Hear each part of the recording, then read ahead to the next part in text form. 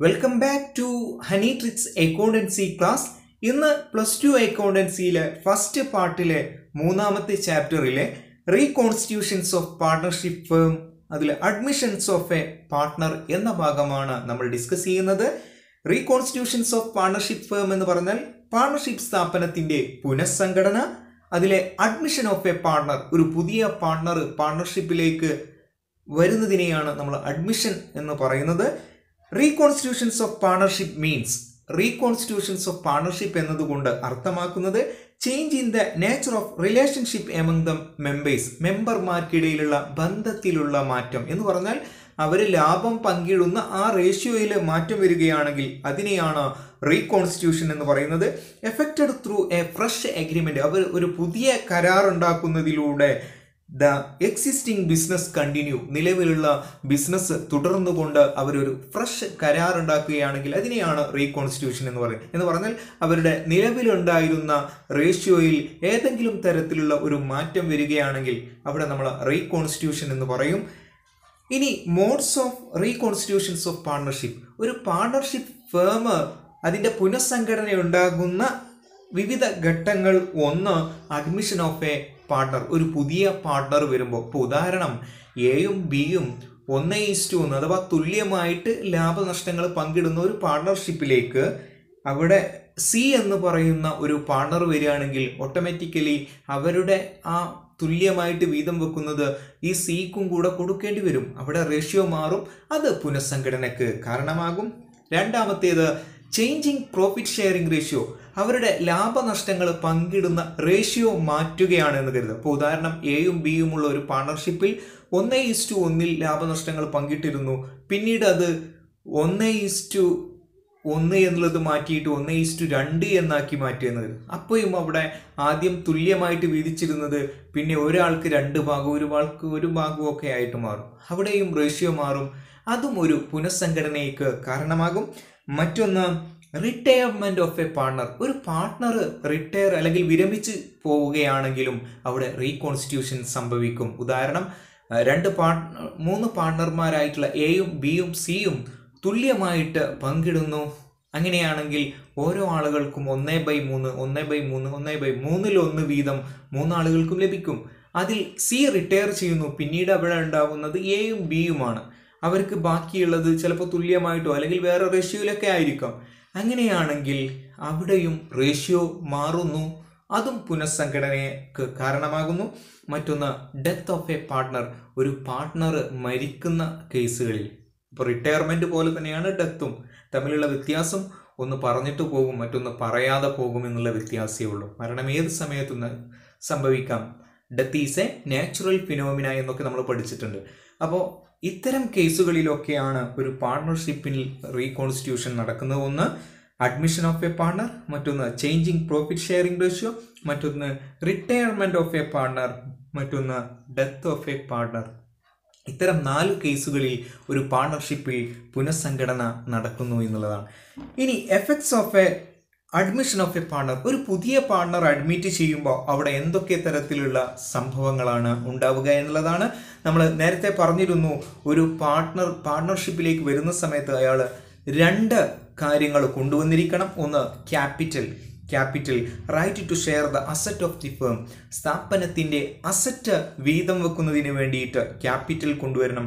മറ്റൊന്ന് goodwill right to share profit or loss ലാഭനഷ്ടങ്ങൾ പങ്കിടുന്നതിന് വേണ്ടിയിട്ട് അദ്ദേഹം ഗുഡ്വില്ലും കൊണ്ടുവരണം ഗുഡ്വില്ല് കൊണ്ടുവരുന്നതും അത് ട്രീറ്റ് ചെയ്യുന്നതും ഒക്കെ നമ്മൾ പഠിച്ചു കഴിഞ്ഞു. ഇനി അടുത്തത് accounting treatment on admission of a partner ഒരു പുതിയ പാർട്ണർ അഡ്മിറ്റ് ചെയ്യുമ്പോൾ അവിടെ ഉണ്ടായിരിക്കുന്ന അക്കൗണ്ടിങ് എന്തൊക്കെയാണ് എന്ന് ചോദിച്ചാൽ ഒന്ന് ക്യാപിറ്റൽ ഓഫ് എ പാർട്ണർ ഒരു പുതിയ പാർട്ണർ ക്യാപിറ്റൽ കൊണ്ടുവരുന്നത് അത് ട്രീറ്റ് ചെയ്യുന്നത് രണ്ടാമത്തേത് calculations of new profit sharing ratio new profit sharing ratio calculate ചെയ്യുന്നത്. മറ്റൊന്ന് calculations of sacrificing ratio sacrificing ratio calculate ചെയ്യണം. Then treatment of goodwill goodwill treat ചെയ്യുന്നത്. Then revaluation of asset and liability അസറ്റിനെയും ലാബിലിറ്റിയെയും ഒക്കെ പുനർമൂല്യനിർണയം നടത്തിയിട്ട് അതിന്റെ ലാഭവും നഷ്ടങ്ങളും ഒക്കെ കാണണം. Then adjustment of reserve and accumulated profit or loss റിസർവുകളും accumulated പ്രോഫിറ്റും ലോസുകളും ഒക്കെ അഡ്ജസ്റ്റ് ചെയ്യണം. Then adjustment of capital accounts of a partner പാർട്ണർമാരുടെ capital അക്കൗണ്ട്സുകളൊക്കെ അഡ്ജസ്റ്റ് ചെയ്തുകൊണ്ട് വേണം ഒരു അഡ്മിഷന്റെ സമയത്തുള്ള പ്രോബ്ലംസുകളൊക്കെ ചെയ്യാൻ. അപ്പോൾ ഇത്രയും കാര്യങ്ങളൊക്കെ നമ്മൾ അഡ്മിഷനുമായി ബന്ധപ്പെട്ട് പഠിക്കാനുള്ളതാണ്. അതിൽ ഏറ്റവും ഫസ്റ്റ് ആയിട്ടുള്ള ഒന്നാമത്തേതായിട്ടുള്ള ക്യാപിറ്റൽ ഓഫ് എ പാർട്ണർ നമുക്ക് ആദ്യമായിട്ട് പഠിക്കാം. പാർട്ണറുടെ ക്യാപിറ്റൽ എന്ന് പറയുമ്പോൾ പുതിയ പാർട്ണർ ക്യാപിറ്റൽ കൊണ്ടുവരണം അസറ്റിൽ വീതം വെക്കാൻ എന്ന് നമ്മൾ പഠിച്ചു. അതുകൊണ്ട് തന്നെ അദ്ദേഹം ക്യാപിറ്റൽ ക്യാഷ് ആയിട്ട് കൊണ്ടുവരുമ്പോൾ നമ്മൾ ജേണൽ എൻട്രി കാണിക്കും cash account debtor to capital അയാൾ കൊണ്ടുവന്ന തുക. അല്ലേ? ഇപ്പോൾ ഉദാഹരണം എ ആണ് ഒരു പാർട്ണർഷിപ്പിലേക്ക് വരുന്നത് എങ്കിൽ നമ്മൾ cash account debtor to S capital അദ്ദേഹം കൊണ്ടുവന്ന ക്യാഷ് കാണിക്കും.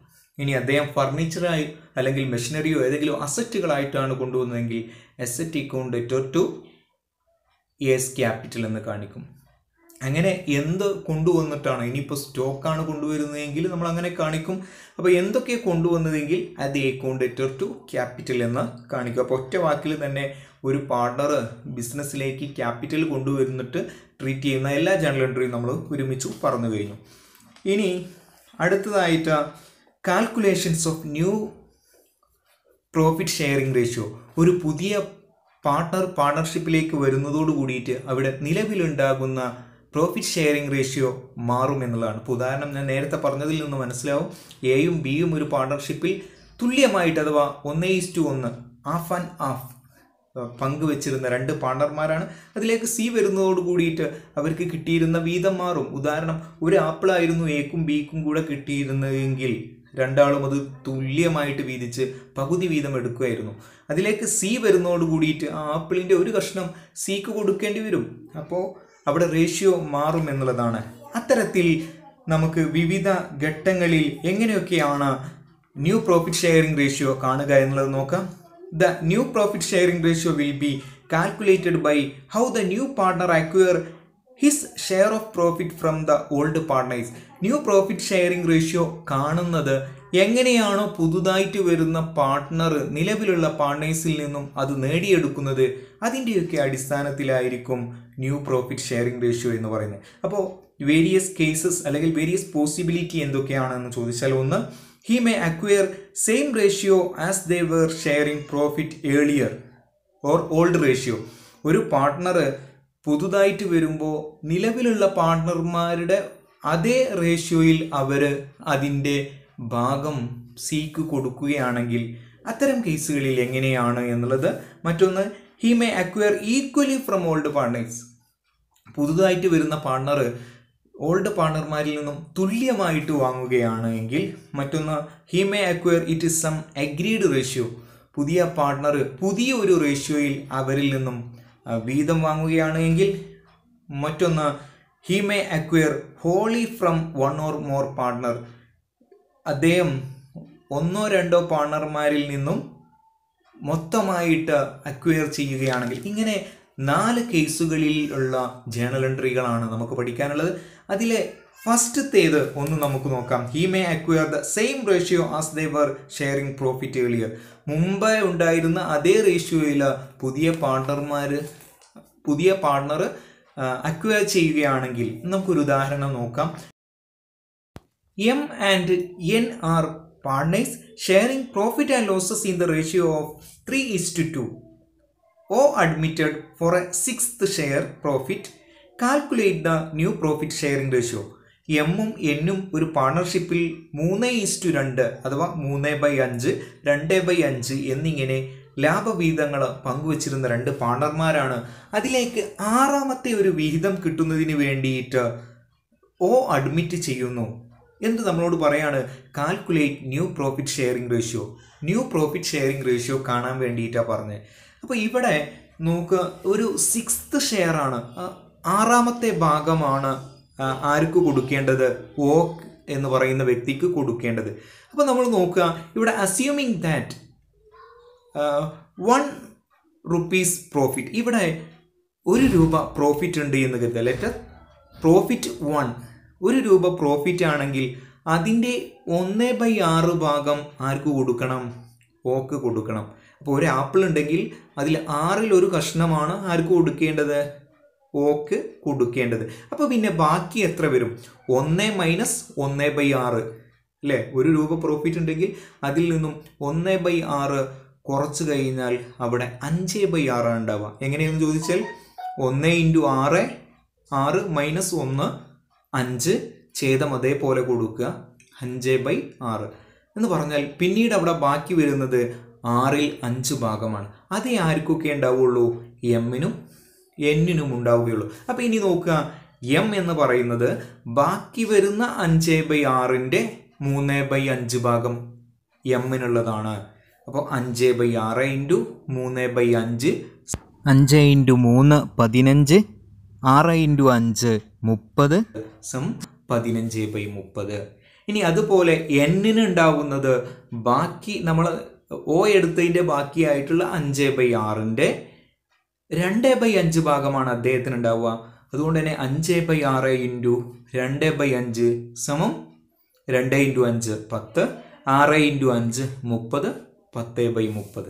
ഇനിയോ മൂന്നാമത്തെ ആളുടെ റേഷ്യോ ആകുമ്പോൾ മൂന്നാളുടേതുമാണല്ലോ ന്യൂ റേഷ്യോ അതുകൊണ്ട് തന്നെ വൺ ബൈ സിക്സ് ആണ് ആരുടേത്? ഓയുടേത് അപ്പോൾ ഇവരുടെ രണ്ടുപേരുടെയും ഛേദം മുപ്പതിലാണുള്ളത്.